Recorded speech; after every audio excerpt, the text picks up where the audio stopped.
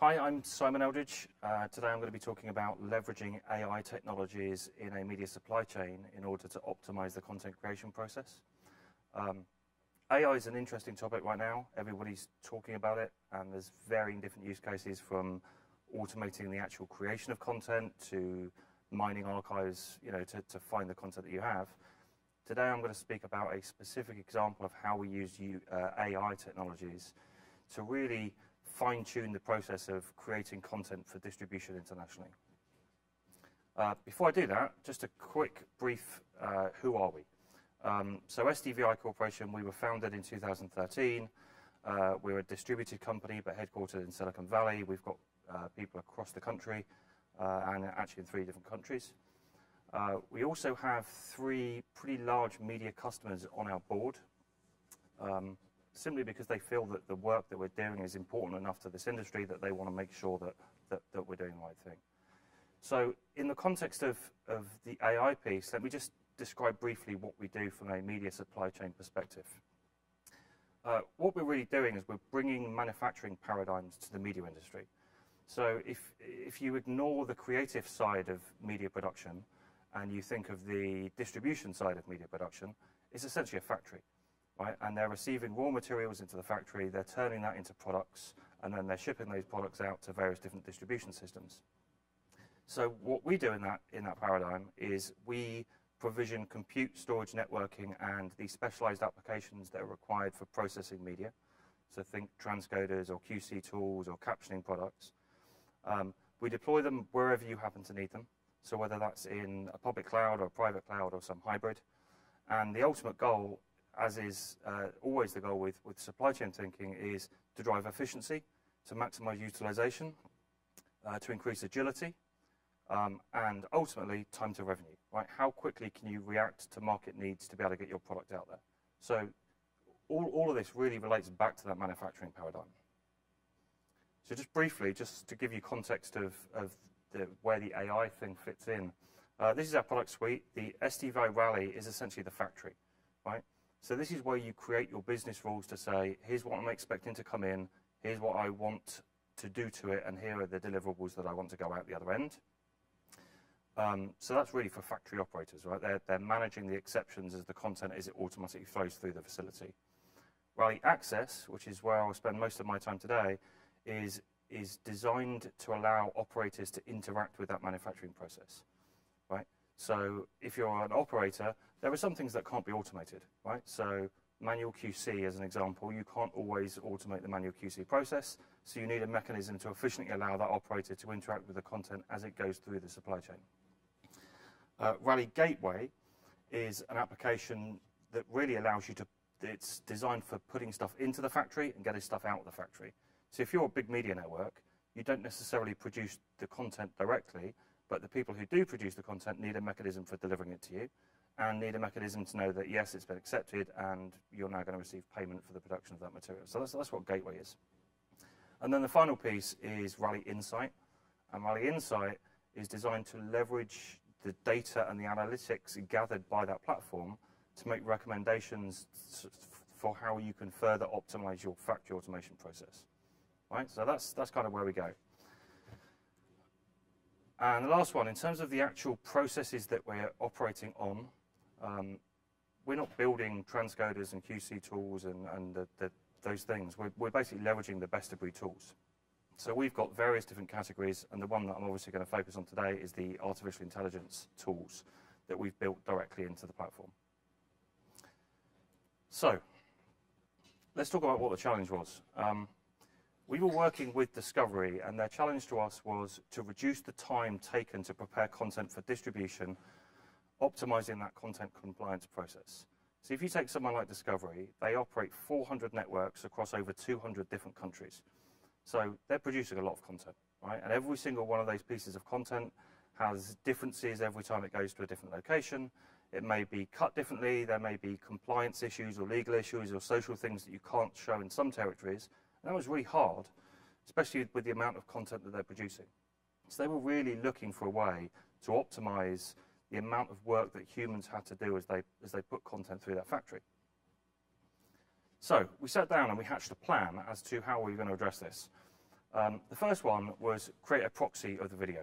Right? So moving big master videos around doesn't make sense. Uh, if you can get what you need from a lower resolution version of the video, then you should do that. The next thing is then analyzing the content in that proxy using AI services.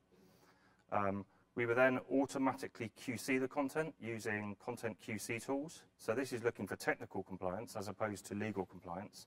So it's looking for things like, you know, are there too many black frames or is the audio out of range? You know, those, those kind of technical things that you can pick up on. And then we would gather all of that QC data and all of that AI data and somehow make it available to operators so that they can make decisions on the content in a guided way rather than in a, I'm going to play this content all the way through.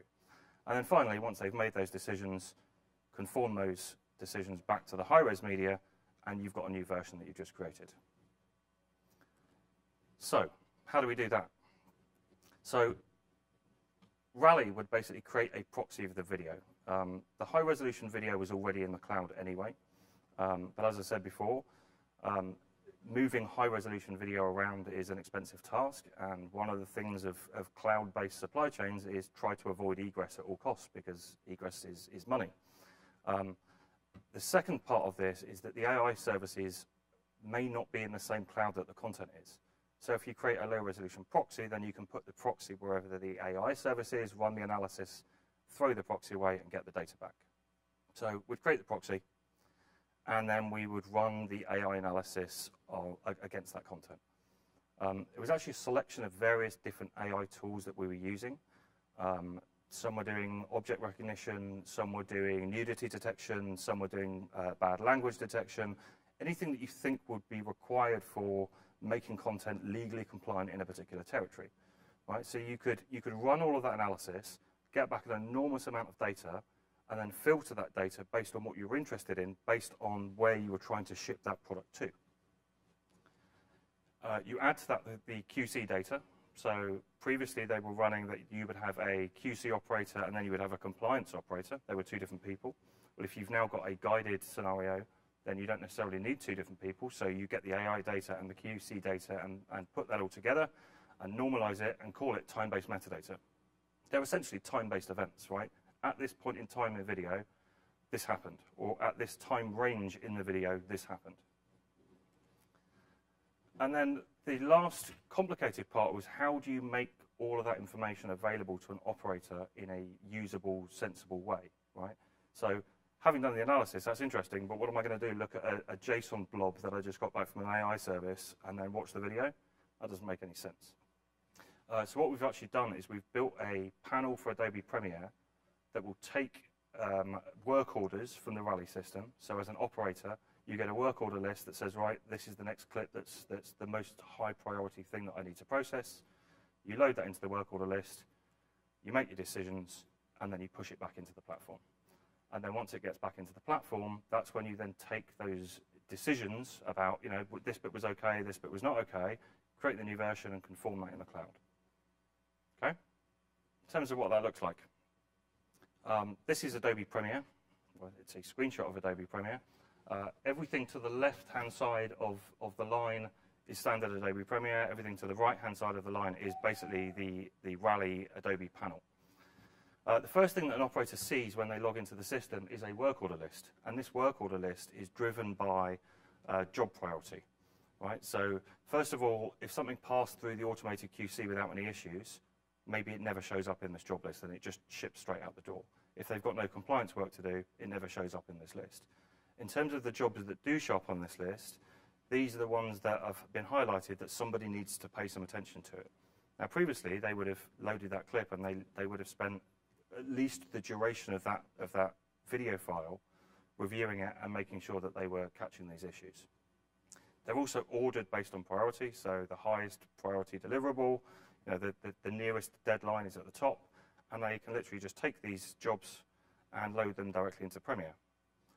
Now, when they do that, uh, the right-hand panel obviously changes because you're now not interested in work orders, you're now in a work order, right? You've now got a job to do.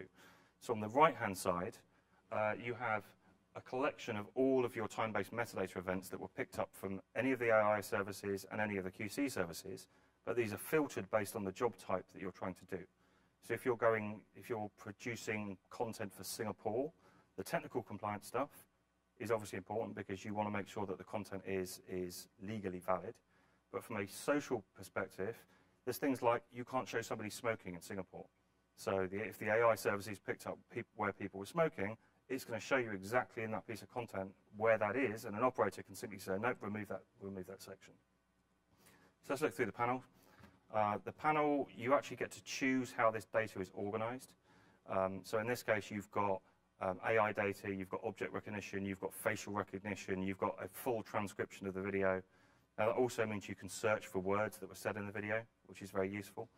And you get to toggle on and off each of those items as you go through the clip.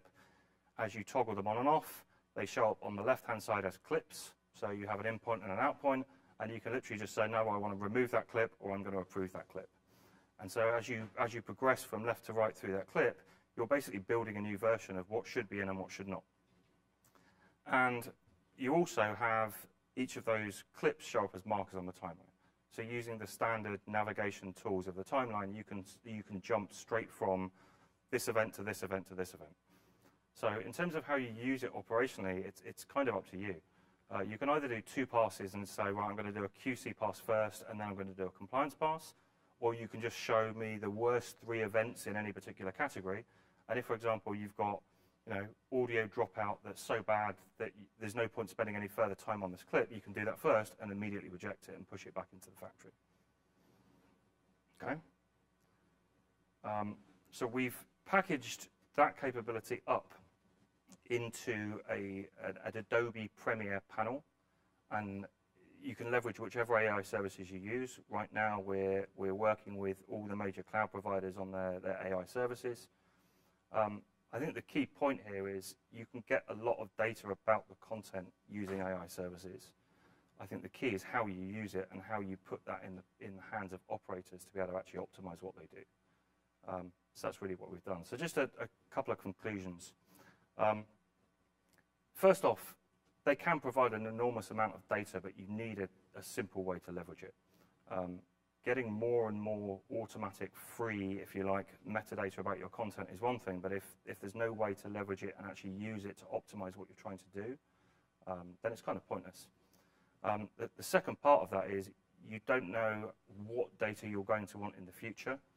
So we actually gather all the data and then simply filter what's applicable for a particular task so that the operator isn't overwhelmed with a million different things. Um, you know, this, it's, it's pretty lightweight stuff. It's, it's not going to cost you storage money to, to keep this stuff. Um, Discovery actually realized an 83% improvement on the time that it took to process content through this system. So rather than, you know, 45 minutes for a 45 minute clip, at best case, uh, they're, they're running through these things really quite quick. So it's now costing them 10% of what it used to cost to do the QC and the compliance process. Um, the other one is, is where should you use AI, right? And really the, the, the optimal place to use it right now, and it's, it's similar to automated QC, right? Automated QC tools' original goal was to remove humans from the process. In actual fact, you know, you can never really review, you can never really remove all humans from the process because there's always going to be some things that those tools don't catch.